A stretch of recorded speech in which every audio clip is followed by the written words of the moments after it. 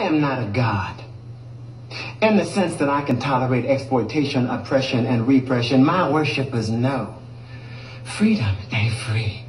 They know the most potent weapon of control for the oppressor is the mind of the oppressed. They know slavery is not a condition. Slavery is a cult. Human trafficking is a cult. Slavery got a rebrand like motherfucking the alt-right. And snatched. Another one gone.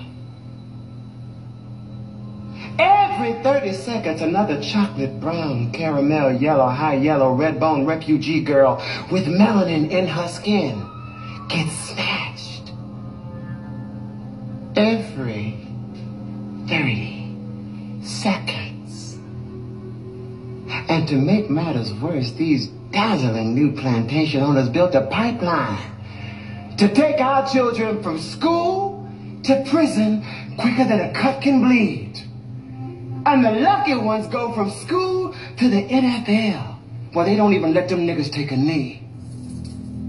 They've been programmed from with shitty food options, contaminated drinking water, gun violence, police brutality, and trauma after trauma after trauma. PTSD, no therapy. Missing, no Amber Alert. Alone.